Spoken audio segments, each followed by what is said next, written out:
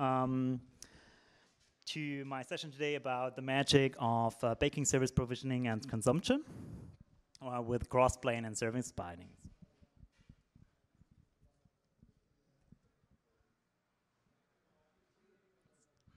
So my name is Timo Salm, and I'm a pre-sales specialist for developer experience at uh, Broadcom after the acquisition of uh, VMware.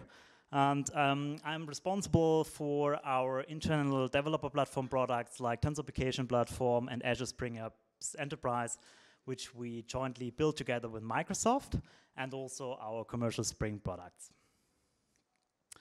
So uh, actually, um, a lot of, uh, for a lot of um, organizations, the modernization of uh, their software towards cloud-native applications is a huge focus or top priority.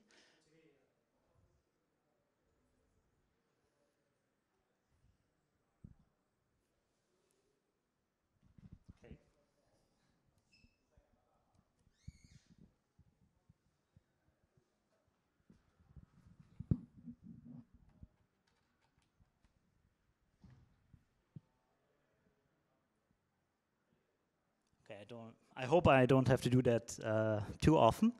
But um, yeah, so actually, it's a top priority for a lot of um, organizations to modernize their applications towards cloud-native applications to be able to grow their business by, for example, shipping software faster and reducing risk. Um, with, for example, being at um, able to be at the market early and also um, actually, yeah, um, validate their assumptions of the applications. And um, yeah, so with all those uh, benefits, um, those kind of applications and the modern um, infrastructure provides, the missing separation of concern and uh, concerns and um, also the fact that um, there's a lot of co uh, cognitive load for the developers especially um, is a huge challenge for a lot of organizations. Nearly one year ago, um, Kelsey Hightower actually wrote the following. So for him, it's like the future, even if we're somehow there with some of the platforms, it's really that the developers, like in the past, only have to focus about uh, writing production codes, really providing business value, and don't have to care about all those infrastructure specifics, and just provide some little configurations, uh, policies, and um, configure dependencies like, for example, backing services. And that's really also the current trend of platform engineering, so providing an internal develop developer platform in the organization so that developers can refocus on really providing business value with the software. So actually, um, this is also what we're focusing today in the session. So it will be really hands-on, and I would uh, like to show you really one of the core features of an internal developer platform, which is the interface. So not talking about a user interface uh, so, or general user interface like, for example, based on Backstage, what we see a lot, really about the interface for developers to request the, all the infrastructure and services they actually need for the applications. So really a self-service for backing services. And if we have a look at um, the CNCF landscape, we can actually see that if we scroll down, that, um, yeah, at the category of provisioning, there are several solutions available. So like, for example, one that I guess everyone here is aware of, Terraform, or others like, for example, Ansible. Um, so there are already a lot of tools, but today we want to focus on another tool, which is in the category of um, orchestration and management, which is Crossplane. What actually Crossplane provides or is, is, is really like, um, it enables us, uh, so developers and operators, to define, provision, and manage uh, services, so backing services, but in general, any infrastructure um, with ease based on Kubernetes. So it's really um, uh, based on the foundation of Kubernetes, so all those concepts like controllers, etc., that you define as a desired state, and the controller will try to to actually um, uh, yeah get the status of the running uh, resources into this state. Um, that is what Crossplane does for you, and really the focus is not only about resources that are internal to Kubernetes or Kubernetes native solution. It's a lot about external resources that are not into the Kubernetes ecosystem and world. And um, with that, also the main focus of the actually um, vendor of uh, Crossplane, so Upbound, is really providing, for example, um, management of AWS, Azure, and GCP services so that you can um, manage all of them via your Kubernetes way, which is really great for people that have a lot of expertise in Kubernetes. And um, what it also allowed, what makes, makes it even more valuable, is that you can create your own custom Kubernetes uh, APIs, so CRDs, for your um, so-called managed resources. So with that, you can really abstract away a lot of configuration for the users of those provided services, like, for example, developers. And um, what I'd like to do with you now is really go step by step to the different building blocks of Crossplane and show you how you can create such a um, self-service offering for developers based on a PostgreSQL database. And we can see here on the diagram on the left how all those different building blocks um, are working together. We will start with a provider. And actually a provider is um, really a building block that actually packages or enables Crossplane to provision infrastructure um, uh, uh, uh on ex external services like, for example, public clouds, but also there are provisioners available, for example, to execute Terraform or uh, then also um, uh, apply Helm charts or Kubernetes resources, just that you have one tool to provide um, yeah, self-service uh, capabilities to, for example, developers. And if we, sorry, go, he go here to our um, terminal, and have a look um, at, at our provisioner.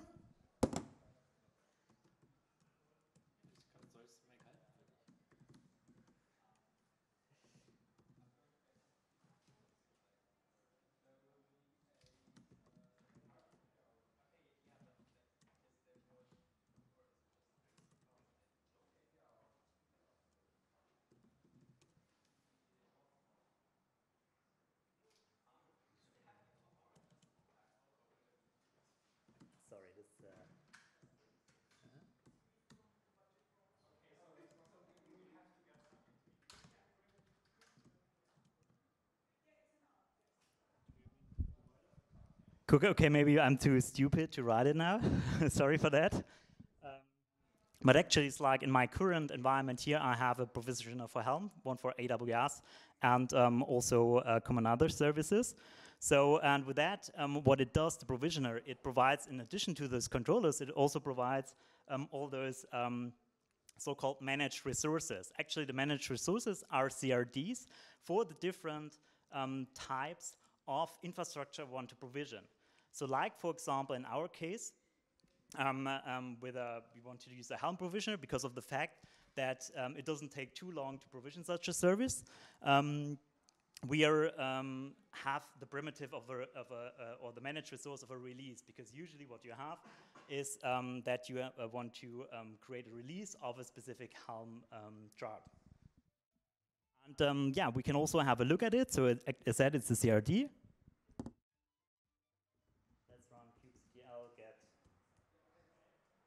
Was providers, sorry, it was providers and not provisioners. Um, so here they are, sorry.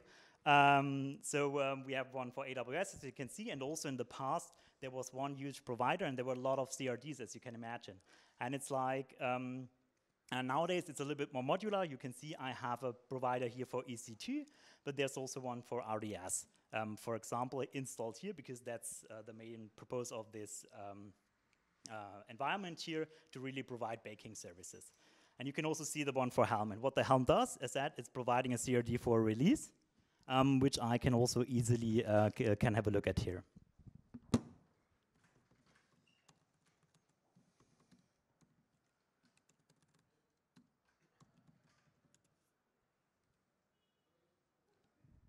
So that's the CRD, you can see it. And um, if I have a closer look, I can for sure also have a look at the CRD um, uh, uh, yeah, the YAML file to see via the uh, Open API specification which um, actual configurations I can apply. If you go to the code, we can also directly see an example here, which I built. So you can see I set a name, and then uh, I define the provider um, for the provider, which chart I'd like to use. This example here is a lot less opinionated than other resources, because with other resources, let's say, for example, an RDS database, you know, or actually the, the uh, provider has all the implementation to get the credentials and provide them in the proper way.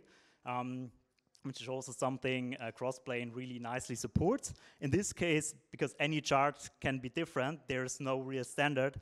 It's like um, that, uh, yeah, it's not that opinionated, so we also have to add some additional capabilities, like, for example, where we get the required credentials from, which we'll see in a second.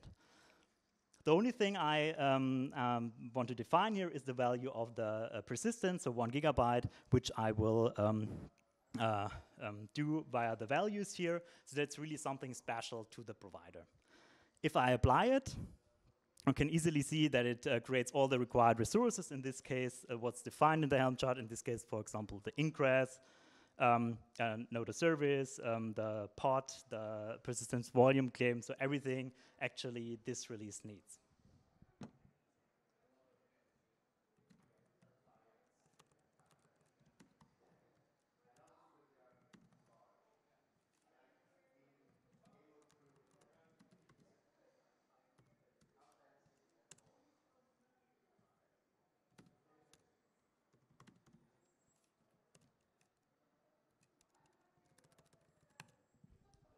So we can see it's already applied, uh, synced, and ready. And um, with that, we can also then see the resources that are deployed, like the stateful set or the pods.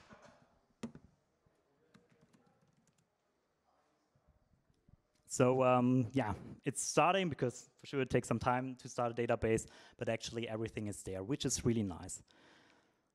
The next question is, so we have a data, we have an application. In this case, it's just a sample application of me.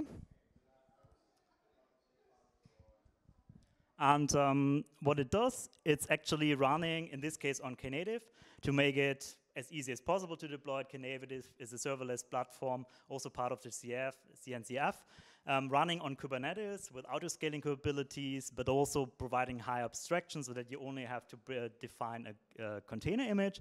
And with that, it automatically creates an ingress service for you um, and other capabilities, uh, like, for example, revisions, etc. The sample application currently have three instances, and as you can see, it has an in-memory database based on uh, H2, and on every ins uh, instance, I have a different emoji here. And yeah, now I want to get them all together. Um, and for that, I need a, a, a, persistent database, actually. And yeah, the question is, how can I do that based on the information I have? And if we go back to our terminal and have a look, we can see that there is a secret, but the secret only includes the information required for our Helm uh, chart, which is, or the database, which is actually only the password.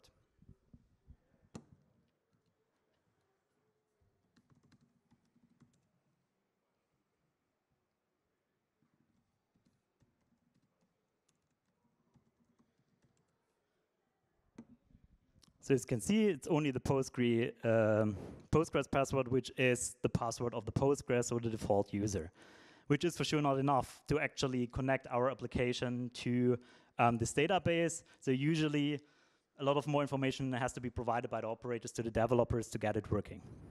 But um, yeah, with a Crossplane, we're able to uh, define and find all those secrets based on the managed resources.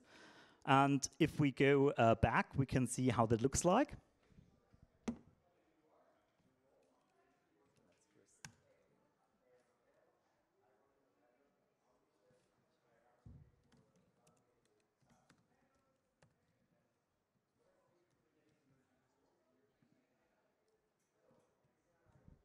So if we have a look here at the more advanced example, we can see in addition to some additional configuration that I need, because I'm actually creating, so that's all just the Helm details, uh, building, uh, creating a new user called default.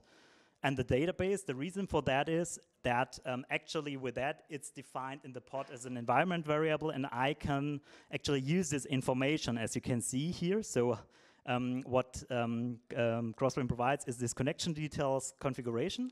And then you can see that I'm accessing for these different resources that are created by the Helm chart, I'm um, accessing different configurations of it. Like, for example, from the service that is auto um, created, I'm accessing the port or um, also the host, uh, which is defined as an IP. I'm from the secret that we saw selecting the password. So uh, previously it was only the Postgres password, but because of the fact that I'm creating a user, there's also a password for this user, which I'm using and setting then um, yeah the, the key for it. Also from the stateful set, um, I'm getting some environment variables, for example, the username and the database. And if I apply that, we can see that there is a secret generated with all the information I need.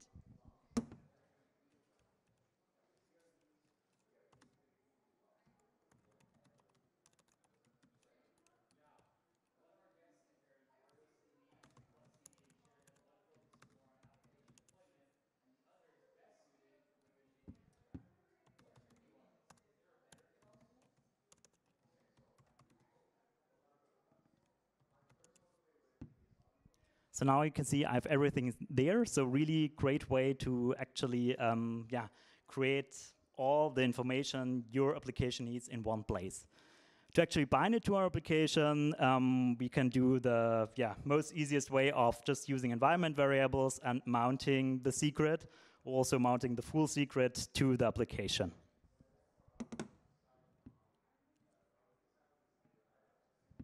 Which you can see here as an example. So I'm using the same container image, and then I have, for example, the Spring Data uh, source URL, um, Postgres, um, uh, the host, the port that will be used within that JDBC URL, and also the password and the database.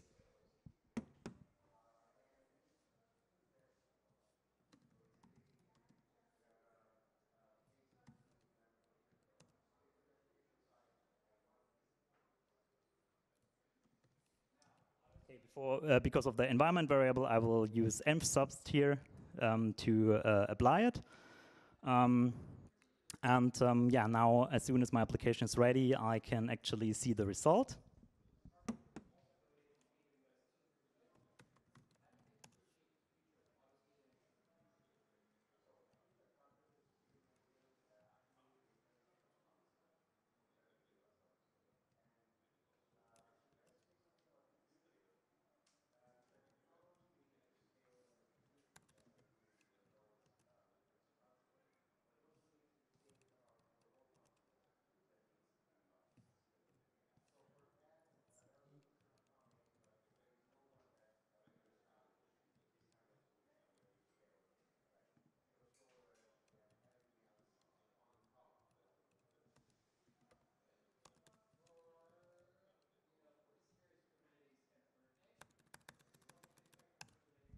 If you apply the uh, right one.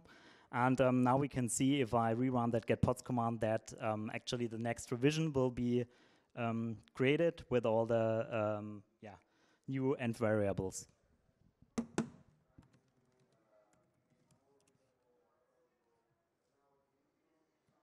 it takes some time to spin them up because uh, this Spring application is not optimized for serverless runtime, which is for sure possible.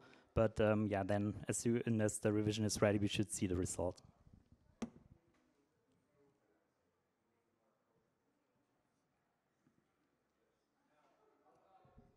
So as you can see, now um, we are powered by PostgreSQL, and we are actually um, yeah, connected with our application to the provisioned um, database, which is great.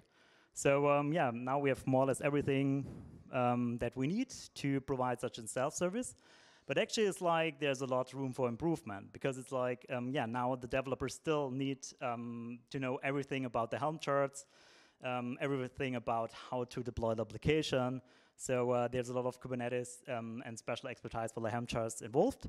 So the question is, how can we optimize that? And um, fortunately, Crossplane provides a way to create your own custom so resource um, uh, definitions as an interface, for example, for the developers. And this is uh, what's done by a so-called composite resource definition, so XRD. This really defines the interface of um, a so-called composite resource, which is then at the end the resource you can create as a developer and only um, uh, have to configure specific configurations that are relevant to you. The rest will be served by the operators. And uh, there's another um, um, uh, building block called Acclaim because of the fact that composite resources are cluster-wide resources. Acclaim is a namespace resource, which is really great for for namespace um, for self-service capabilities because then you can really provide one namespace, for example, per app. A composition is actually the configuration of a composite resource, which um, then defines how a managed resource will be applied. And uh, you can also for sure have multiple managed resources in a composition, and you can also reference other composite resources in a composition. And with that, you can really modularly build, um, yeah, or offer services that are um, actually not one specific thing. You can really provide, for example, profiles for different services that are common for a specific type of application, etc. Let's now have a closer look, because we also run a little bit of time because of those delays, um, um, how that looks like, so that we also have a few minutes for the service binding stuff.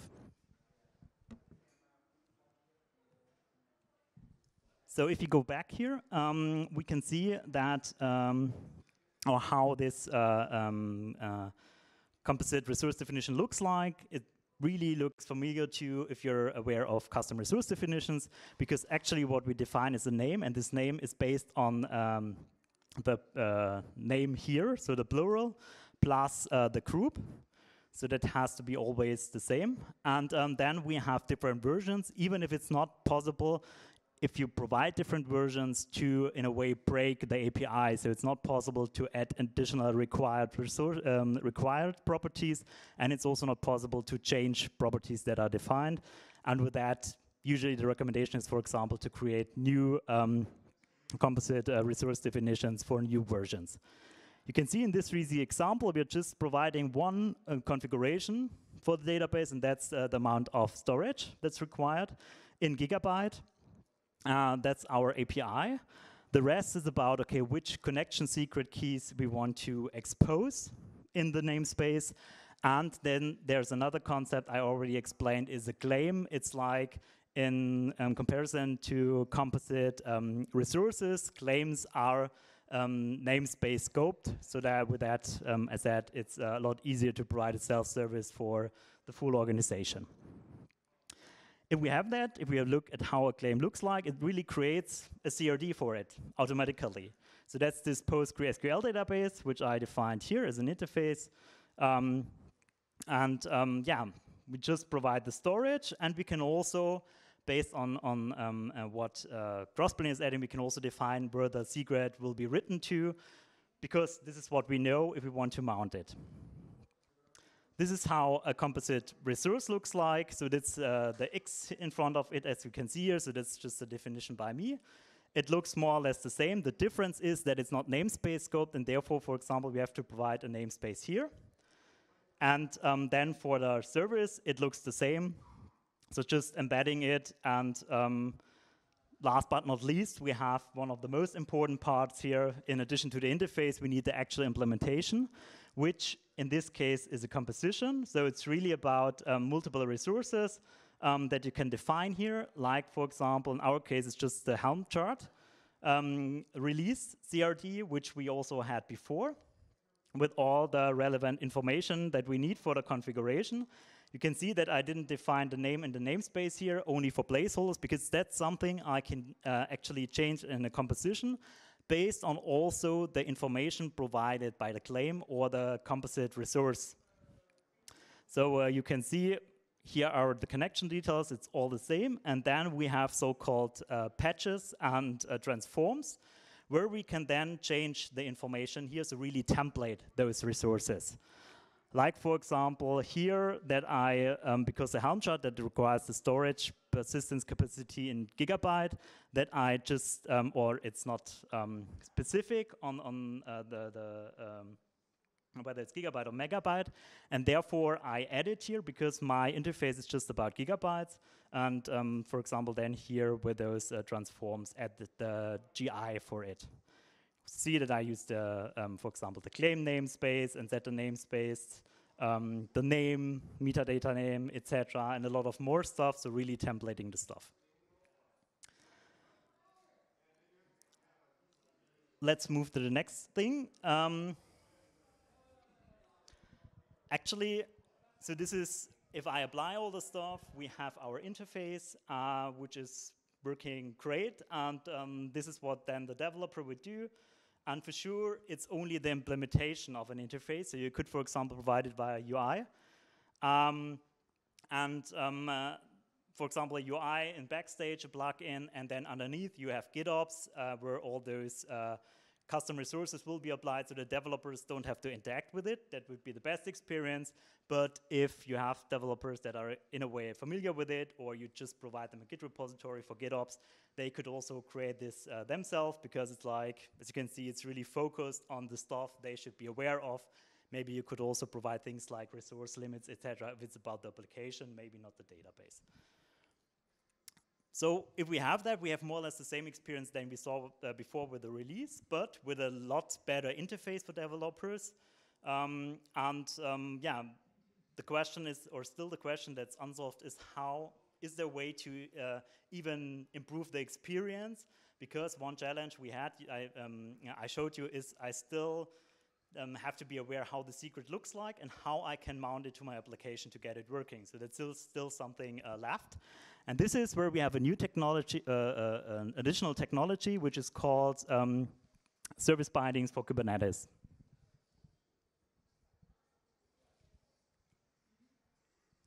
So, uh, and what it's about, it's really about um, a way of automatically um, um, mounting secrets, so direct secrets that have a specific format, or also so-called um, provisioned uh, services to an application without having that uh, to do that manually. So like, for example, you saw we mounted those different environment variables. We could also have mounted the full secret and we have to define it in our Knative um, YAML. And that's something that's automatically done for you by the service binding. And there's even more. So because of the fact that those secrets are standardized, um, it's possible to use libraries like, for example, for Spring, .NET, there's also one for Python, that automatically recognize those secrets, that format, and set it to the corresponding Spring um, uh, configuration properties. And with that, it's like, okay, here's my application, for example, as a Knative service or a deployment. Here is my um, backing service defined by my claim. And then I have the service binding, which I just reference um, the uh, Knative service and my backing service, if it's binding compatible. And with that, I have a fully working solution, and I don't have to care about secrets and uh, secrets, and also not the details of the provisioning. And that's something I will show you in the last minute. Um, so let's go back to the code, and I will just um, yeah apply it and then show you it live.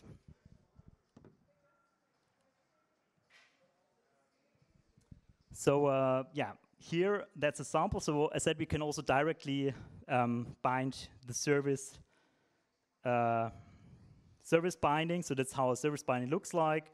So that's directly bound to the connection secret we have, but uh, and the service. But it's also possible, and this is what you uh, what I want to show you now, to make um, the actual um, yeah backing service um, uh, binding compatible. And in this case, I did it because it's uh, what we saw before is that um, I'm able with a composite to uh, modify actually um, the different resources that will be uh, the managed resources, properties of them and templating them, but it's also possible the other way around. So I can also, as you can see here, change um, so the two composite field paths. I can also, based on information I have, change the composite resource and um, with that, for example, automatically set um, which uh, uh, the, the, secret name where the binding is available. And also, as you can see here, because I extended um, the uh, CRD with status here. So that's what um, is is, part of this uh, service binding specification that you need um, a binding dot name with uh, the secret name. I'm actually extended it here so that um, we um, have this uh, status binding name set to uh, the UID of the metadata, which is also then set to the spec writing connection secret, uh, secret to ref name. And with that, my interface is really like, because I don't have to define my secret anymore, storage 2 gigabyte, the service binding, binding to my service, and this PostgreSQL database, so the, the custom uh, CRD for my interface, and uh, my Knative app, I also don't have to define anything than the container image because everything will be mounted automatically and set. There is this Spring Cloud bindings um, uh, uh, um, library that will be also automatically uh, injected for you if you're using a Paketo Cloud Native build pack, so you don't have to care about this stuff. And um, yeah, let's. I hope I get one more minute to just apply it and show it to you. And um, yeah, that's really the experience I wanted to show you. Minimal configuration from the user side and all the um, opinions, etc., by operate, uh, op operations are baked in. And with that, you can really focus on providing a nice um, interface for your developers.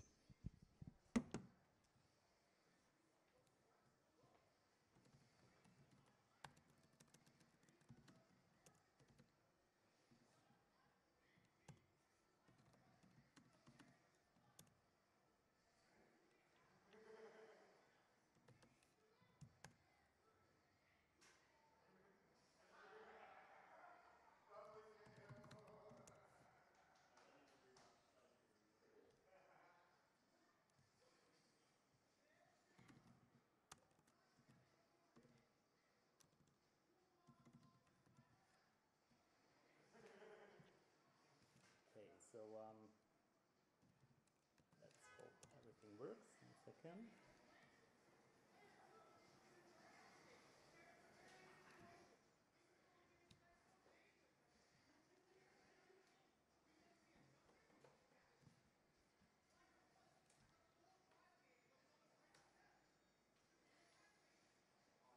Sorry.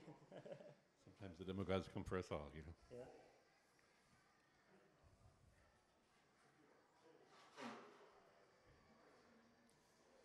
Take this opportunity to remind you that after this talk, this room will be empty. Um, we'll all go downstairs. There's a happy hour. I do want to remind you that that happy hour means that at 7:20 we're all out of the building, but we're here at 6:20 having a happy hour. All right.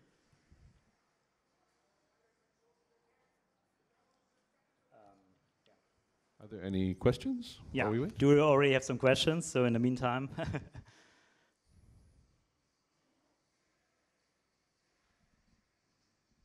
so uh, actually, um, until hopefully this one is deleted, what I can show you is um, all the samples are available on my GitHub account, so you can easily have a look at it. Um, so uh, here, um, that's the repository. Just Timo Salm is my GitHub account, and then uh, crossplane and service bindings. You can see all the different steps. Also, the commands are listed here. Um, so try it out yourself, and um, yeah, have a look how it works. I think it's a really amazing experience, um, and uh, yeah, providing a lot of value. Um, especially if you use other services than, for example, Helm, AWS services, you can really see the ease of configuration and uh, that it works.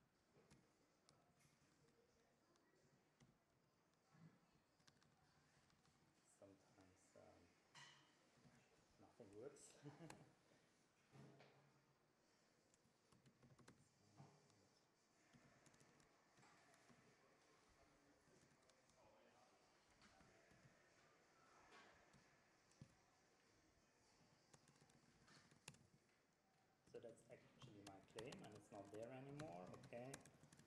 Um, so let's try to reapply it. And, um, okay, so that's not a problem. Stuff.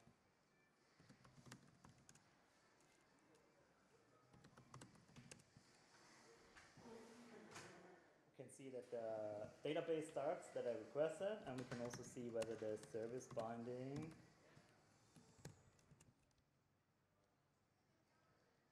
So that's the one I was trying to delete, but let's see whether it will, based on the available service. Um, we'll come back in a second. We can also see here is the out-generated service with a name as a secret, providing all the information. And what's special about the secret is that it also has a type like PostgreSQL. This is how the Spring Cloud um, bindings library knows that it's PostgreSQL and how to set it. Um, and the provider, which is um, yeah, Janelle. And now we have a look at the service binding. We can see still service not found, but um,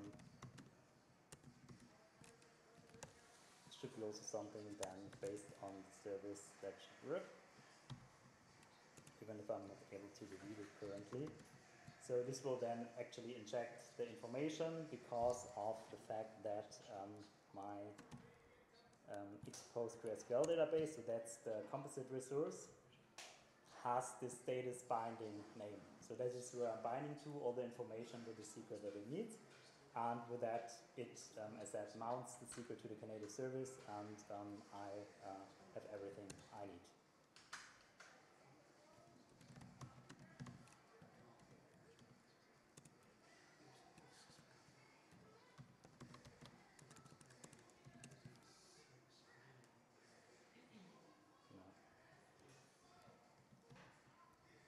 Even if it doesn't look like so, usually it was really stable, the service binding, but it looks like I, I'm not able to get rid of it anymore. Well, thank, But, thank uh, you. yeah, thank you very much for attending my talk and also the additional time. Yeah.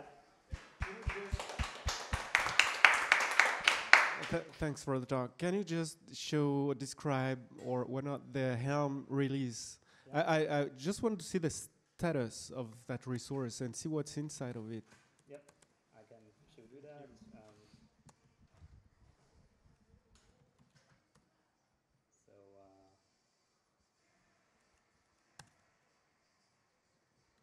that's the one here that's created. And as you can see, I also added this um, additional uh, um, postfix here, um, so that because it's not um, namespace, um, it's not namespace scoped. And yeah, so what did you want to see? Actually, I was wondering if you have the secrets or information about the secrets. That's um, the only thing I define here is write connection secret to ref. This is what I um, also generated. So here's the name, and I'm usually the convention is to set this. Um, so it's in crossplane. All the secrets from different managed resources, you can combine them and also define them, and then those um, will be put together in a global secret where everything is embedded that we define, and then you can, based on, for example, what I showed, based on the composite resource definition, define which of those will be used by uh, for the developers to put in the namespace. So that's something you can then define. So.